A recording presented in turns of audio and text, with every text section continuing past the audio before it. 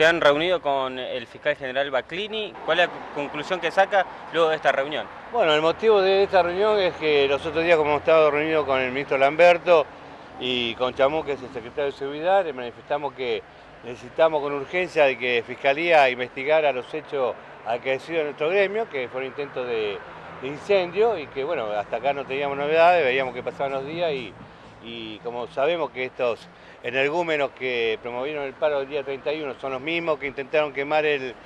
sindicato y son los mismos que amenazaron a tomar el sindicato estos días anteriores, cuando lamentablemente tuvimos que lamentar la pérdida de un compañero, eh, Hugo Camilo, este, entendimos que teníamos que agilizar este tema para que la justicia le ponga un poco de freno a esta gente, porque si no, parecería que estamos todos sometidos a la voluntad de días inescrupulosos que no hacen nada más que atraer el orden y gestionar cosas que son obviamente inviables y echarme la culpa a mí del tema de inseguridad, yo no tengo nada que ver, no tengo ninguna clase de responsabilidad, por eso digo,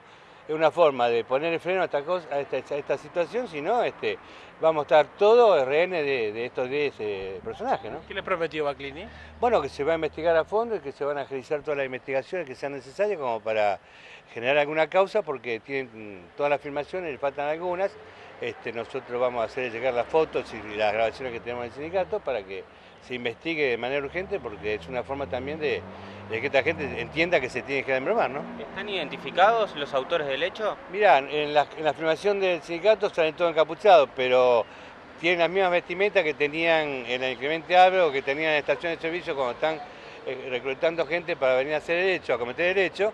Este, y aparte lo están diciendo a vos, Populi por todos lados, de que fueron ellos los gestores del incendio. Así que bueno, hay un montón de testigos que lo han escuchado, que son los mismos compañeros taxistas, que lo han escuchado mencionar que ellos son los gestores del incendio, que son los autores eh, también del incendio. Así que bueno, esperemos que la justicia funcione y que esta gente entienda una vez por todas que por ese camino va en un camino equivocado. ¿no?